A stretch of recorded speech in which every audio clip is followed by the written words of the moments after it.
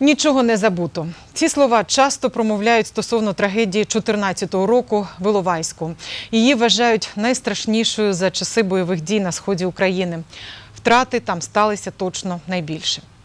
За версією ЗМІ, аналітиків, української влади та західних експертів у цих боях з боку ДНР брали участь російські збройні сили.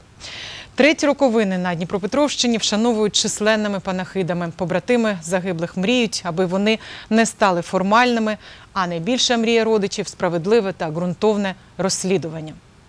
Іловайський щоденник – перша проба пера Романа Зіненка. Він ніколи не думав ставати письменником. Усе змінила війна. Описати події Іловайської трагедії так, як було, задача, яку чоловік поставив перед собою. Працював швидко, менш ніж за півроку книга була готова. Просто свидетельства, воспоминания, без каких-либо собственных, ну, крайне редкие были собственные взгляды, комментарии или какие-либо выводы. Днями має вийти україномовний переклад з правками та уточненнями. Іловайський щоденник Романа Зіненка правдивим називають навіть недоброзичливці. Зараз у роботі друга книга. Вже не особисті спогади, а робота з інформацією. Цього разу учасник бойових дій задумав створити цілісну картину подій з різних точок зору та різних локацій навколо Іловайська. Але ця робота не для України. Материалы книги уже переданы за рубеж. Я не хочу выпускать эту книгу в Украине, потому что в Украине тема войны, к сожалению, неинтересна. На издательству тоже, читатели тоже.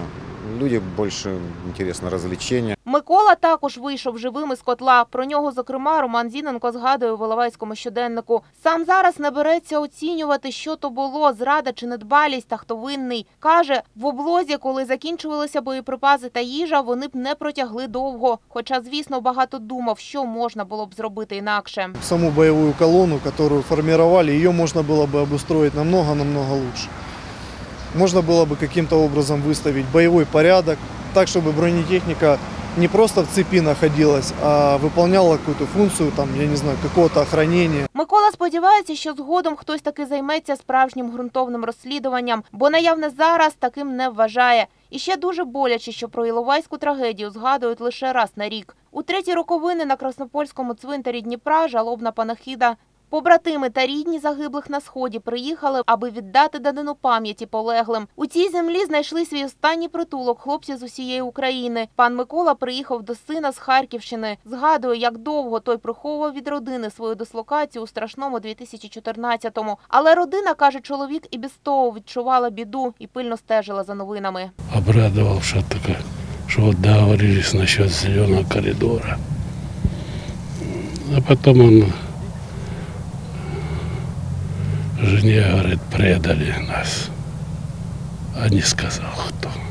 Заходити у тил так, як тоді, дорівнюється капітуляції, кажуть військові, що змогли вийти з Іловайського котла живими. Віталій згадує. Бой продолжался где-то до 8 вечера, без перестану. По нам из танков, из пушек, ну, то есть все тяжелое, что, мож- что могло быть, кроме рада, все сыпали на голову.